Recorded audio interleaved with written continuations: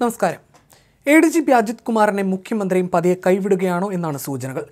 ശബരിമല യോഗത്തിൽ ക്രമസമാധാന ചുമതലയുള്ള A D G P Ajith കുമാറിനെ പങ്കെടുപ്പിച്ചില്ല. നിലവിൽ ശബരിമല ഏകോപന ചുമതല എം ആർ അജിത് കുമാറിനാണ്. അജിത് കുമാറിനോട് മാറി നിൽക്കാൻ മുഖ്യമന്ത്രിയുടെ ഓഫീസ് നിർദ്ദേശം നൽകിയെന്നാണ് പുറത്തുവരുന്ന സൂചന. ഇപ്പോഴത്തെ വിവാദങ്ങളുടെ പശ്ചാത്തലത്തിലാണ് മുഖ്യമന്ത്രിയുടെ ഓഫീസ് ഇദ്ദേഹത്തെ യോഗത്തിൽ നിന്ന് മാറ്റി നിർത്തിയത്. എ ഡി ജി പിക്ക് പകരം D G P Sheikh Darvesh സാഹിബാണ് യോഗത്തിൽ പോലീസിന്റെ കാര്യങ്ങൾ വിശദീകരിച്ചത്. ഇതുവരെ അജിത് കുമാറിനെ സംരക്ഷിക്കുന്ന നിലപാടായിരുന്നു മുഖ്യമന്ത്രി സ്വീകരിച്ചിരുന്നത്. മരമുറി ഫോൺ ചോർത്തൽ മാമി തിരോധാനം ആർ എസ് എസ് നേതാക്കളുമായുള്ള കൂടിക്കാഴ്ച എന്നീ വിവാദങ്ങളാണ് എ ഡി ജി പിക്ക് കുരുക്കായത്. ഒപ്പം അനധികൃത സ്വത്ത് സമ്പാദന കേസിൽ വിജിലൻസ് അന്വേഷണവും. പൂരം കലക്കലിലും എ ഡി ജി പിക്കെതിരെ ആരോപണം ഉയർന്നിരുന്നു. പൂരം കലക്കലുമായി ബന്ധപ്പെട്ട എ ഡി ജി പി നൽകിയ അന്വേഷണ റിപ്പോർട്ട് ഡി ജി പിയും ആഭ്യന്തര വകുപ്പും തള്ളിയിരുന്നു. റിപ്പോർട്ടിൽ സി പി ഐയും സംശയം പ്രകടിപ്പിച്ചിരുന്നു. തുടർന്ന് ആഭ്യന്തര സെക്രട്ടറി നൽകിയ ശുപാർശയുടെ അടിസ്ഥാനത്തിലായിരുന്നു പുതിയ അന്വേഷണം നടത്താൻ തീരുമാനിച്ചത്.